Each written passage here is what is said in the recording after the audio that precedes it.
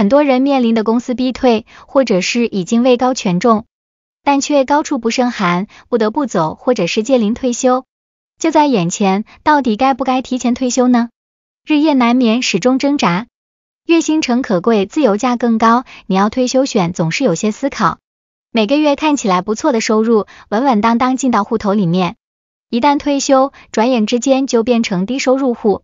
每个月给的劳退大概就是生活所需，公司的退休金应该是安养天年所在，也不能随意动用。换另一个角度来看，投资有风险，有赚有赔。虽然寄望于股市不断的冲新高，能够赚得饱饱，但是风险也在于一旦逆转，跌得惨，亏得凶，大半的老本也就死光了。但是绑了三四十年的工作生涯，总要有一些转环，换另外一种选择。跟不同的生活，到底是你要钱呢，还是要自由？鱼与熊掌不可兼得，又变成很多人在退休前的一些思考跟挣扎了。如果提前退休，能够创造出另外一种生活模式，往后的三四十年一定没有公司的收入，但是你所营造出来的生活空间跟生活方式，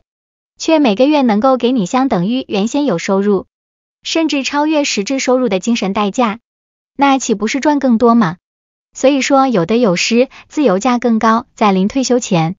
就要想到安养天年的日子，每天怎么过，每个月怎么走，年年都要开开心心，